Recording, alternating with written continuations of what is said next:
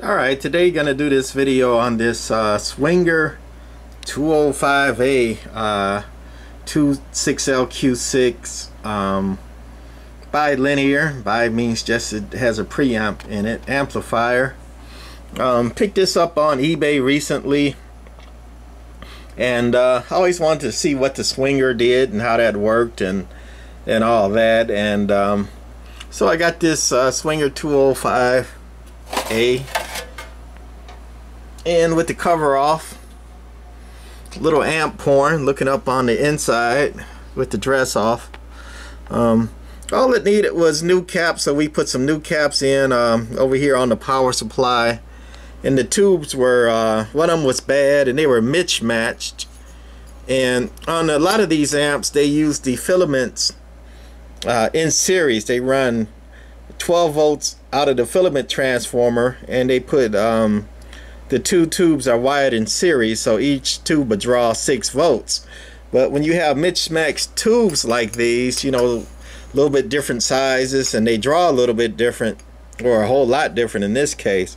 One was lighting up real strong and the other one was lighting up weak uh, even before you got to the output of the tubes that uh, uh, the filaments weren't weren't lighting equally on the tube so but it uh, had bad tubes in it anyway. I think one of them was marked 65 I don't see it now. There it is. That one was marked 65% so we put a couple of hundred percent almost look like new tubes GEs in there. 6JE 6Cs um, 6LQ6 um, put them in there.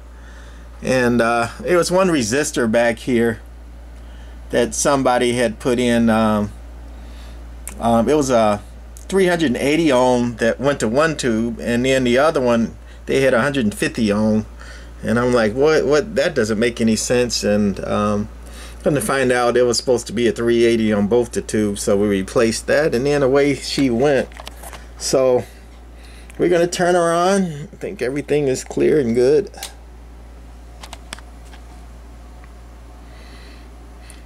One thing we did find strange, and we don't even think that that's correct, but it is what it is, and I'm not going to play with it anymore, is the preamp works during standby, but it doesn't work uh, when you have it on operate on either AM or SSB. I thought was weird.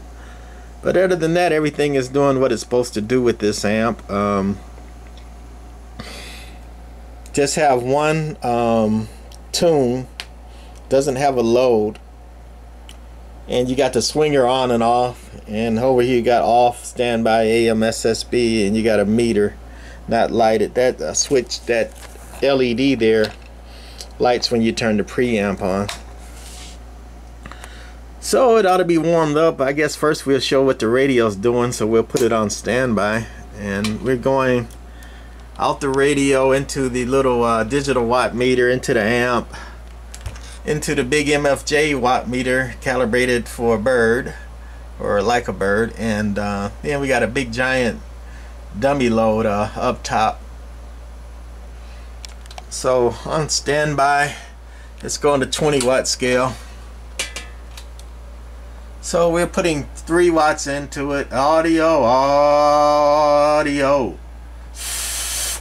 Talking to 5 whistling to 7 and it's peak audio audio audio. 13 watts peak. And the little digital watt meter shows close to the same dead key in three and a half. Input well the SWR is 1.0 so this amp being in line is not messing up your input SWR it does not have a uh, tunable input SWR. It is fixed, but it does have a, uh, a, a, coil and a fixed cap for the input SWR. It's just not adjustable or variable. So we got it on AM. And let's go to the 200 watt scale here. And let's put it on average first. And we got the swinger off.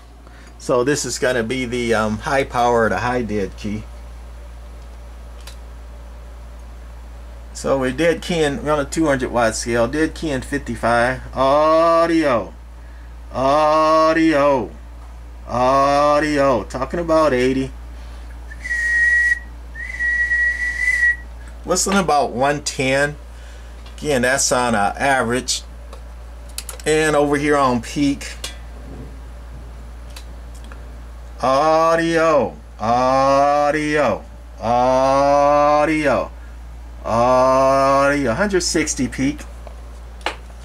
And then we're going to turn the swinger on.